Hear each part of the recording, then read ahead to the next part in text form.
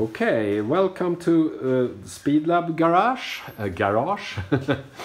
and uh, what we are going to do now is that we are going to scan uh, the front of the car. We are going to scan here uh, because we are going to try to assemble some wings to the to the front and want to have the curvature of the front.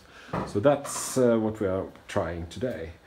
Uh, okay, and now I, let's see what Patrick is doing. Right. Yes, this is really difficult. Yeah, so we're using the Einscan Pro, uh, really good handheld scanner. Uh, and we can scan in both the freehand mode, which we will try first, uh, and then we, we can uh, try the HD mode as well, uh, which will use this uh, reflective dots for, for uh, camera tracking.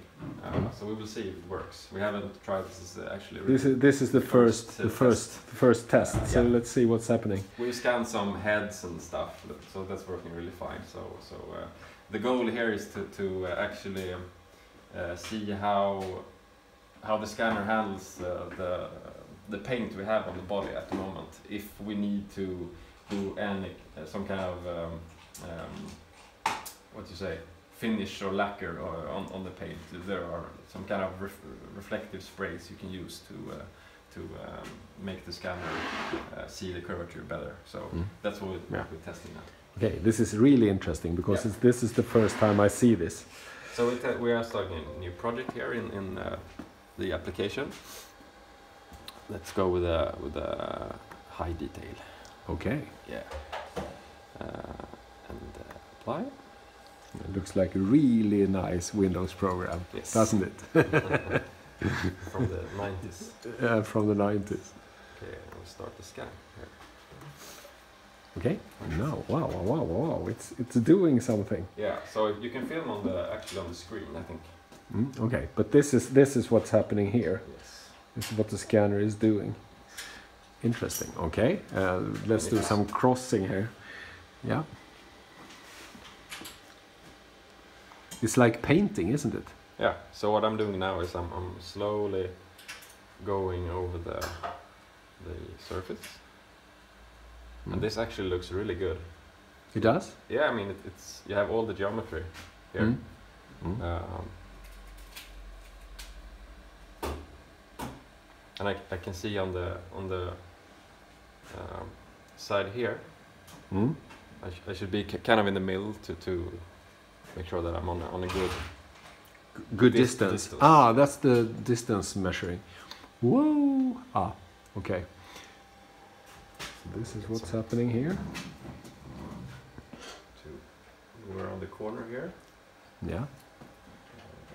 There I can look at the I'm a bit closer. picture. Can see how it emerge on the screen. The thing here is that we are going to try to scan the whole car. Then we can run it in CFD also. Yeah, Right, so that's okay. see there's some glitches.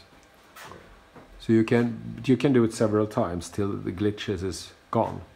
Yeah, you go back and forth, and and uh, I mean, if I just stand like this, it, it adds points all the time. So, so. Uh, Okay. I, I mean, uh, this is good. I think we have uh, the area we want.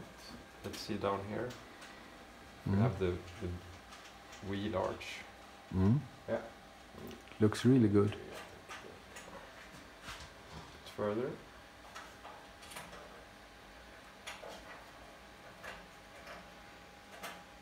Right, I think that's good. Okay. we have what, we what we need, so I will Okay. Yeah. yeah, stop it. Done. Okay. Nice. All right, now we can take a look at the data. So here's the preview of the of the of the mesh. Mm. Uh, those uh, the small dots is uh, the reflective dots. Mm. It's catching. So that looks pretty good, I would say.